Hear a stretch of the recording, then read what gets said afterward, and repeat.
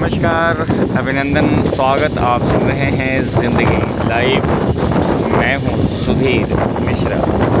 कहते हैं, यात्राएँ काफ़ी खूबसूरत होती है और जब आप यात्रा करते हैं तो चलती हुई ट्रेन की खिड़कियों से ढेर सारी चीज़ों को निहारते रहते हैं और यही सोचते हैं कि सचमुच यात्रा कितनी खूबसूरत होती है। ज़िंदगी लाइव अभी बीकानेर मदुरई एक्सप्रेस से भोपाल की तरफ़ और कुछ ही पलों में भोपाल हम पहुँचने वाले हैं।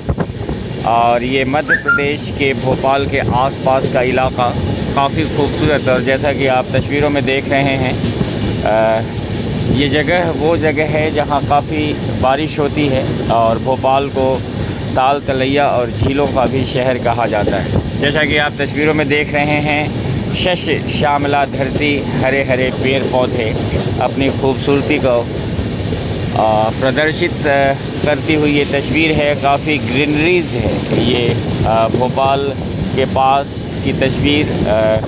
सीहोर से आगे हम निकल चुके हैं और भोपाल कुछ ही पलों में हम पहुँचने वाले हैं।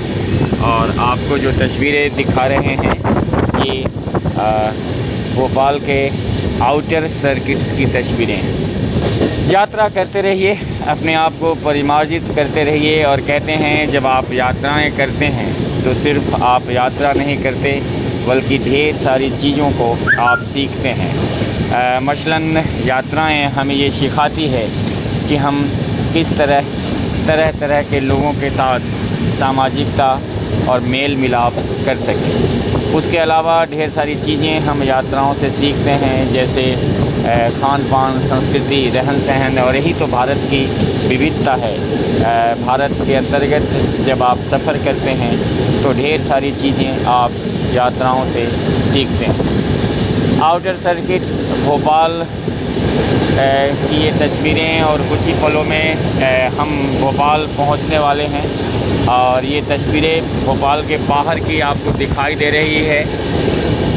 श्यामला हिल्स की तस्वीरें हैं। भोपाल शहर श्यामला हिल्स के ऊपर बसा हुआ है और ये काफ़ी खूबसूरत नज़ारा आप देख रहे हैं।